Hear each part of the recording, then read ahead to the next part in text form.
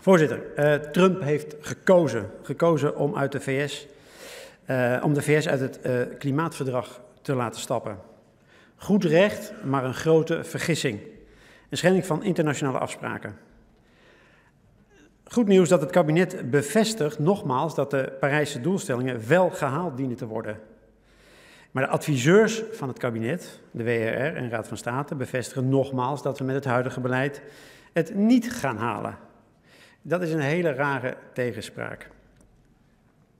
Maar laten we dus niet onze eigen inspanning vertragen of verminderen door naar anderen te gaan zitten wijzen, maar juist vermeerderen. En dat is alleen al omdat Europese landen niet veel beter lijken te zijn dan Amerika. Ook Europa komt de klimaatafspraken niet na. Kijk onze eigen Europese inspanningen voor het terugbrengen van de extra reductie van 77 miljoen ton CO2 in 2030 en maar op na. Dat gaat naar 7,7 miljoen ton.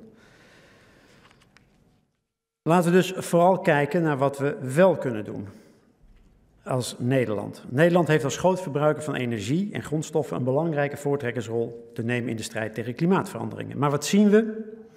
Onze overheid ondersteunt nog steeds de fossiele en zwaar vervuilende industrie, het zij door lage btw-tarieven, het zij door grootverbruikerskortingen voor energie, het zij door directe subsidies die bestaan uit het niet in rekening gebracht zijn van externe kosten. Alles ingegeven door korte termijn economische belangen. Nederland moet zelf aan de bak. Maar dat is geen bedreiging voor onze economie. Integendeel, het ronde tafelgesprek eh, circulaire economie gaf aan dat er voldoende mogelijkheden zijn. Eh, de transitie van dierlijke naar plantaardige eh, eiwitten bieden een geweldige kans. Nederland is koploper Sonar Energy, volgens TU Delft. Voorzitter, het klimaat is meer dan alleen CO2-besparing en energiebeleid. Klimaatbeleid dient onze aarde leefbaar te houden en gaat daarom over herstel van biodiversiteit, natuur en het zorgvuldig omgaan met onze grondstoffen, recycling en onze consumptie. En we kunnen dus niet langer heilige huisjes overeind houden. Ik kom daar zo meteen op terug. En laten we dus meer doen. En ook de VS laten merken dat uitstappen gevolgen heeft. Immers, als de VS gaan produceren zonder Parijse uitgangspunten, uh, in de prijs te verrekenen van hun producten, hebben Amerikaanse producenten de facto een enorm kostenvoordeel en dus een concurrentievoordeel. En dat kan niet de bedoeling zijn.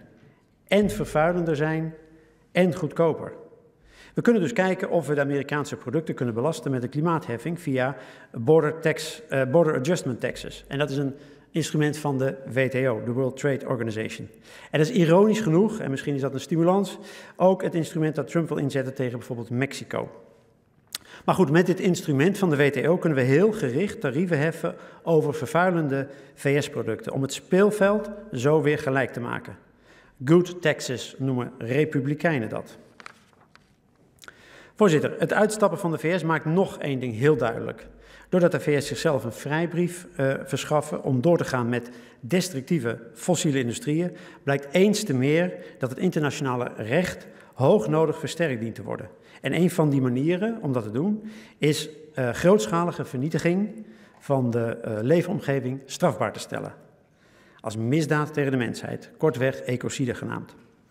Voorzitter, ik rond af. We willen de staatssecretaris drie dingen vragen. Ten eerste, is zij bereid om te onderzoeken hoe Nederland uh, Border Adjustment Tax kan inzetten om een gelijk speelveld te behouden, wat nu duidelijk op de tocht staat?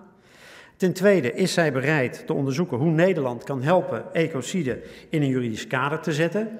Mijn partij heeft daar eerder moties voor ingediend. Tot slot, het PBL heeft een rapport gepubliceerd genaamd Wat betekent het Parijsakkoord voor, de Nederlandse, voor het Nederlandse lange termijn beleid? Is zij bereid het planbureau ook te laten kijken naar wat we concreet nu moeten doen de komende 12 en 24 maanden? En dan een uh, rapport te publiceren uh, genaamd Parijsakkoord voor de Nederlandse korte termijn. We, over, we overwegen moties op deze drie punten. Voorzitter, dank u wel.